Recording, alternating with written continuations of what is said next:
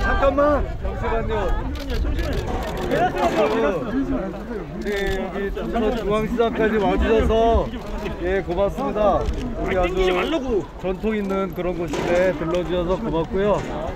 그래도 이렇게 총리님께서 너무 아니 그러니까 요새 후보님께서 너무 열심히 해주셔서 제가 좀 불안한데 예 종로에서 선전해 주시기 바랍니다. 천천히 예, 예, 고맙습니다. 이렇게 요청이 있었습니다. 이렇게 먼저 찍으시고요.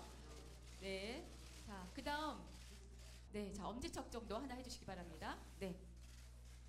네, 고맙습니다. 코로나19로 인해서 야기되고 있는 경제의 위축과 사회의 상처 또한 머지않아서 치유할 수 있으리라고 믿습니다. 제가 그렇게 믿는 이유는 우리 국민들께서 위대한 시민의식과 나눔과 연대의 정신을 확고히 갖고 계시기 때문입니다. 물론 그 긴급 재난 구호금,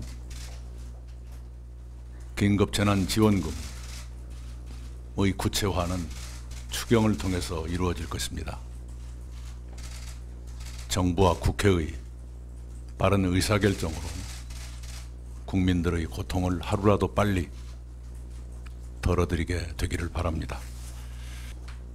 우리 사회에서 가장 열악한 환경에 놓여 있는 알바 노동자들이 식당 문을 닫지 못하도록 하기 위해서 아니 식당 주인들이 영업을 포기하지 않으시도록 하기 위해서 더 많이 먹어드리자는 과식 투쟁을 벌이고 있습니다. 이렇게 어려운 분들이 또 다른 어려운 분들을 돕는 고통의 분담에 나섰습니다. 국민 여러분과 함께 이 위기의 강, 고통의 계곡을 한 분의 누락도 없이 모두가 손잡고 빨리 건너가게 되기를 기대하고 이제 강원도는 확실하게 대결이 아니라 평화가 강원도의 미래의 보탬이 된다는 확고한 의식을 도민 여러분이 함께 가지시고 그에 걸맞는 지도자를 선택하실 때가 됐다고 저는 굳게 믿습니다. 지금은 싸우는 사람이 아니라 일하는 사람이 필요한 때입니다.